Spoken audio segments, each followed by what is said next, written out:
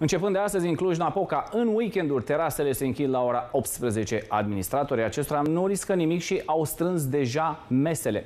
Nu este singurul oraș în care intră carantina din această seară în vigoare.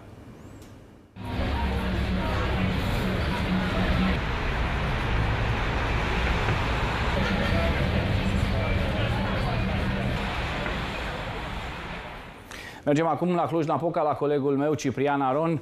Bună seara, Ciprian! Cum au întâmpinat oamenii această decizie și ce zic patronii localurilor până la urmă?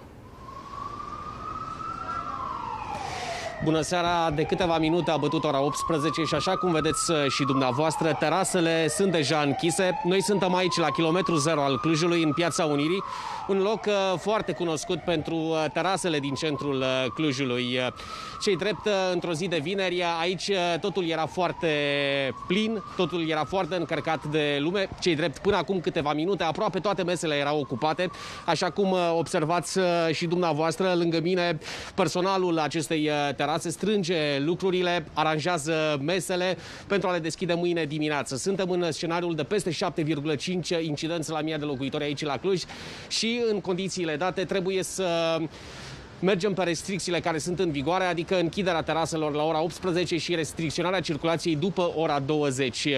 Trebuie precizat că la Cluj se așteaptă, iată, un calcul foarte important, o statistică care se efectuează pe parcursul uh, weekendului, în speranța că luni uh, aici lucrurile vor reveni undeva sub uh, incidența de 7,5 pentru a se reveni, pentru a se redeschide aceste terase. Mulți dintre cei cu care am stat de vorbă spuneau, iată, că este o premieră, este o primă zi de vineri în care ei nu au mai reușit să ajungă la terase sau nu au mai reușit să se bucure de terasă după ora 18. Oamenii încă nu au plecat acasă, mișună, ca să spun așa, se plimbă prin uh, piață, se, se bucură încă de, uh, de vremea de afară, deși mărturisesc că aici la Cluj plouă, am putea spune că vremea ține de asta dată cu autoritățile, dat fiind uh, faptul că aceste condiții meteo, precipitațiile care sunt anunțate pentru weekend, îi face și pe cei mai curajoși să plece mai devreme acasă.